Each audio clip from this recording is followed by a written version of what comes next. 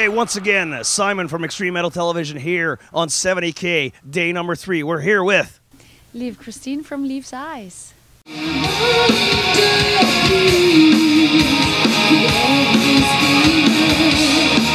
So tell us a little bit about Leaves Eyes. For the people who've never heard Leaves Eyes before, what can they expect?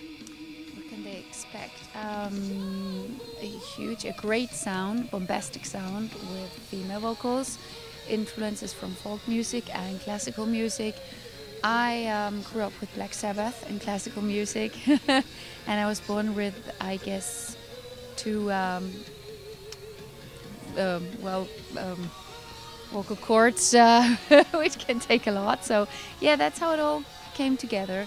And um, I'm from Norway, so I brought a lot of um, Viking history and Viking mythology into our music. Um, so yeah, Leaves Eyes, um, Leaves Eyes. Um, we've been around for 10 years. We had our uh, 10 years anniversary last year, uh, but um, my band members and myself we've been around for like 20 years and more. So here we go.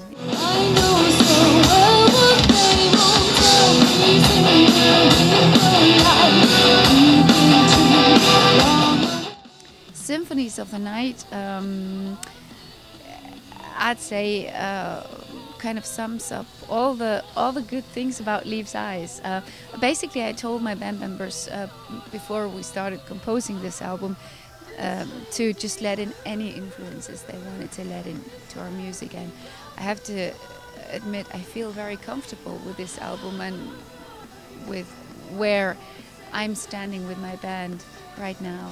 So um, yes, it's it's a it's an album um, that really shows um, experience, live experience and studio experience, um, and um, definitely the, the, the, the, core of Leaves Eyes. And also, we always add spices to our music, um, which I think is very important, either from the folk area or or the the classical uh, area, but. Um, Leaves Eyes is uh, is not a, a, band which goes with the flow. It's uh, without sound, sounding um, arrogant. Um, I don't really pay much attention to what's going on around me. I'm just concentrating on my own thing, on my own band. So, yeah, um, 10 years of Leaves Eyes and Symphonies of the Night is exactly that.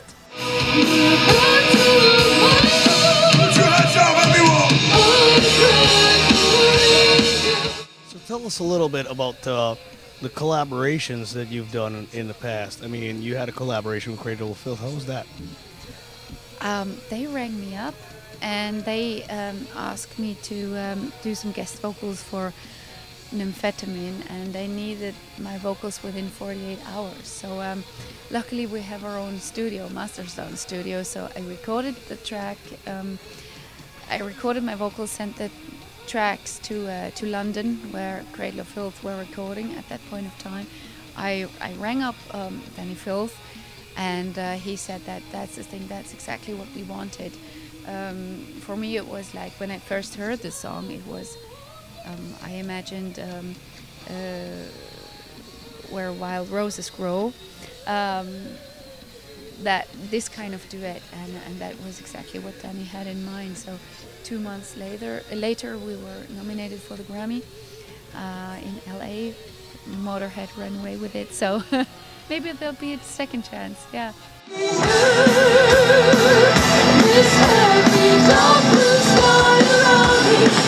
A lot of people come out uh, dressed in garb. I mean, they dress in in outfits that that they see or, or see as symbolizing Vikings. Mm-hmm. Uh, does that add to the show? Yeah, definitely, definitely. And I'm always moved when I see Norwegians uh, in the crowd. You see them. It's uh, there is just no way you can't see them, and uh, um, it. Uh, I've always been uh, uh, interested in, in, in, Viking mythology and history. That's something I've always found interesting, and languages. Um, so um, it's it's a every time there is a new album coming up, um, I, I, walk down into my to my basement, my cellar, and I dig up some some old books. so yeah, I, I, I, like studying when I when I write my lyrics. I um, I read a lot and I, I, Google a lot and I talk to a lot of people. And uh, linguistically, I, I, I, got my information from um, from the university in Stavanger in Norway and the University of Stuttgart in Germany. So, um, and that's good. Um, my studies were not in vain. My master degree.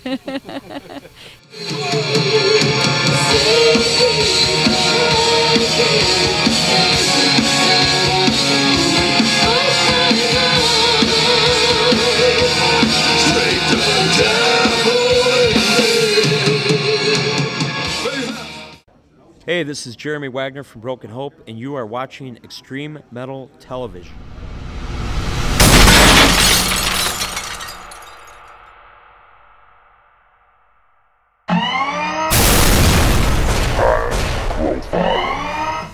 False Flag was formed in 2012 in Calgary, Alberta, Canada. They released their debut EP, Aerobus, in 2013. They are currently working on a brand new album.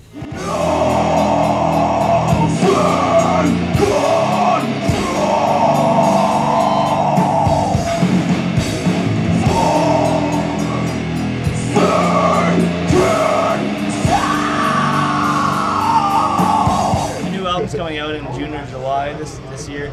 We're taking our time with it, but we're gonna have a full length album out this year. And hopefully a, a, bit of a tour behind it, at least a CD release in Calgary and Edmonton, and you know maybe uh, hit up Vancouver or the island. But uh, we'll do a little bit of a CD release at some point.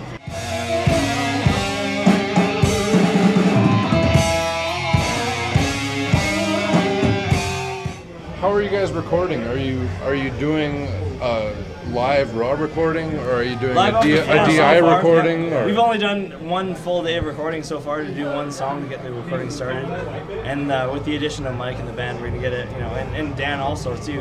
Um, we're gonna get them both in the studio to to kind of finish the album off with us. So we've got one day in the studio, two uh, two days booked next week, and we're gonna keep going from there.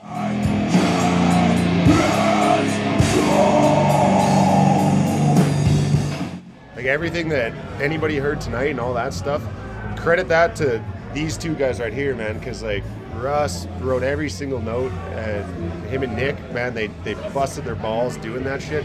And like I was saying, yeah, man, that's what I mean. Like both of these guys, like me and Dan, you know, we've been buddies with these guys for a while, but this is nothing to do with us yet. You know what I mean? But so far, it's it's all these guys, and it's awesome, man. They they got to. So the future is us integrating the rest of these guys in the, uh, the, the musical experience of False Flag.